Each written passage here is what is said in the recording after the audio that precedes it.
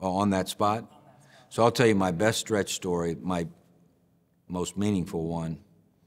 So my dad was a great player in high school, went to spring, he graduated early, went to spring ball with Paul Brown, scored two touchdowns and threw a touchdown in the spring game.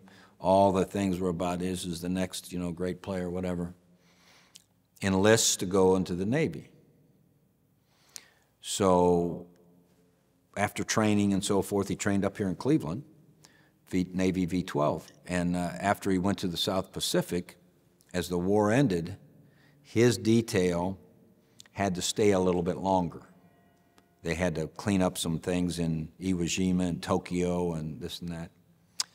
And so we have some letters that he sent back to his buddies saying that, hey, uh, our detail won't get out till 30 June. I just heard from Ohio State they don't have any spots open. Not sure what I'm going to do. Blah, blah, blah. So he finally gets into port and comes across on the railroad, you know, back to Ohio, and Stretch meets him at the railroad station.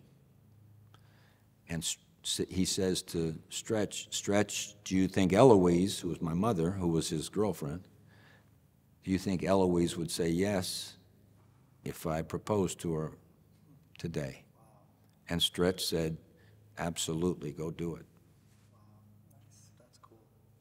That's how close they were. That's how close they were.